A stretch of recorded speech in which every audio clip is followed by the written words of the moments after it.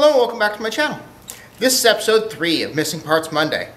In this episode, I'll be welding on the little bosses for the index and the pinky onto my new socket. So let's get started. In my 25 years or so of being a machinist, I rely on using a four-jaw chuck for the majority of my work holding for the lathe. It wasn't until I started working on super tiny parts that I made the investment of purchasing a 5C collet chuck. Good ones are kind of expensive, but definitely worth the coin. For even smaller work that I'll show you later on in the project, I mounted a 3 quarter inch straight shank ER16 collet holder in the 5C, and it allows me to go all the way down to a 32nd inch diameter.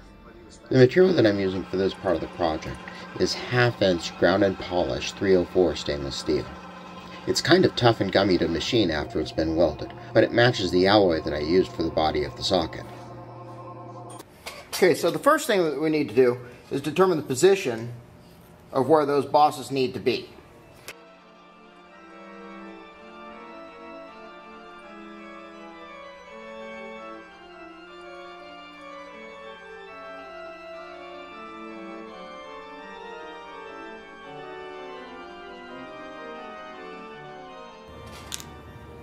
Okay, so we're going to double check this. Okay, that looks about right. That looks about right. That looks about right on both top and bottom. And that looks about right. So something that we need to be sure of is that when the finger comes around and curls, we need to make sure that they don't end up touching the other fingers. We'll mark top. I'll mark the bottom. So top's marked, bottom's marked. So this is super important because it forms the basis of everything we're doing from here. Okay, so center of one boss, center the other boss, center, center, top and bottom.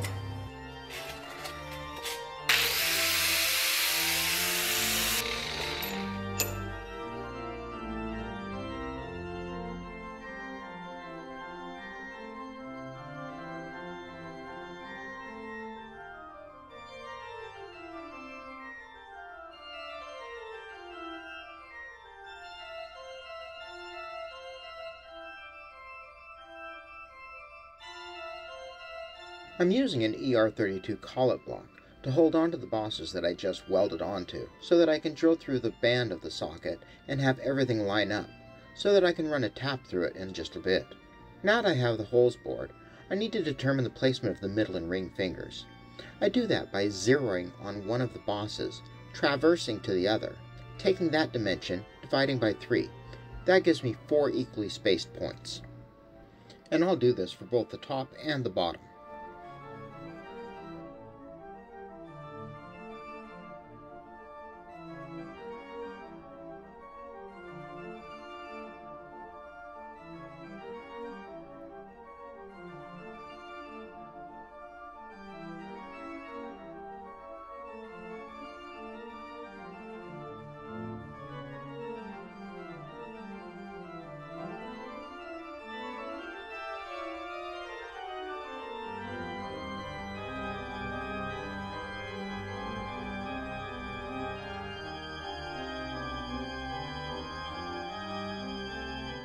Now that all the holes are drilled, I'll switch tools to a quarter inch carbide end mill and plunge mill the excess of the bosses from the palm side of the socket.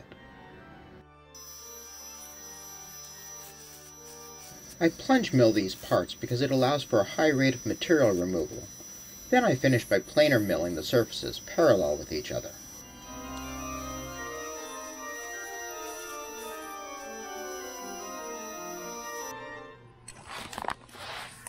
Okay, so what that does, that gives us two two planes that are flat in two axes. Okay, so what I'm going to do from here is I'm going to flip it, I'm going to tap those, and then flip them over, and then bolt them from the underside to a block that I'm going to then stick on parallels in the vise. And then I'll be able to machine the top of that, and then everything will be parallel to each other, both the inside ones and the outside ones. So, let's get started.